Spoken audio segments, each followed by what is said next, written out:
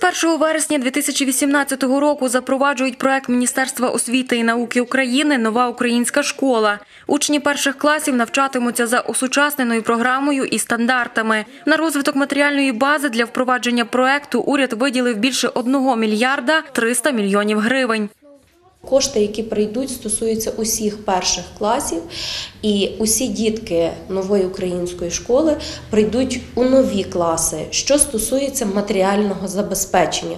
Тобто, це мають бути принтери, ксерокси, це має бути інтерактивна дошка, проектор, який з якою вчитель може користуватися. З 1 вересня діти сядуть.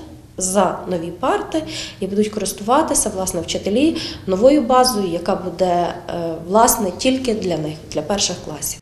З коштів, які виділили на модернізацію початкової школи, більш як 386 мільйонів гривень на підвищення кваліфікації вчителів. По всій Україні пройти курси перепідготовки мають більше 25 тисяч педагогічних працівників початкової освіти. Тернопільські учителі кажуть, це важливий етап у формуванні сучасної школи, тому готуються вже відтепер.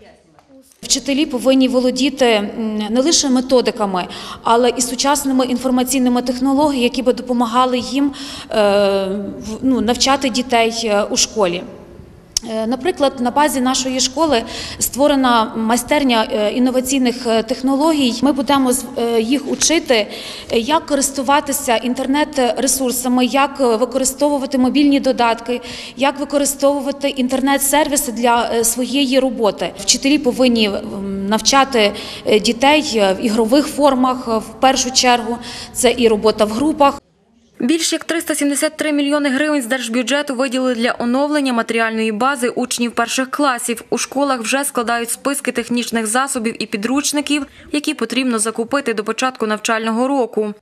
Ми склали списки згідно з вимогами Міністерства освіти е, всіх тих засобів, технічних засобів, е, різних роздаткового матеріалу, е, які нам будуть потрібні, і подали це.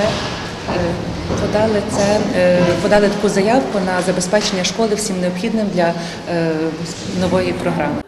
Детальніше про розподіл коштів на школи області в управлінні освіти і науки Тернопільської обласної держадміністрації обіцяють повідомити згодом. Ще одним важливим нововведенням Міністерства освіти і науки є підняття заробітної плати вчителям на 25%. Богдана Сарабун, Андрій Бодак, Вісті ТТБ.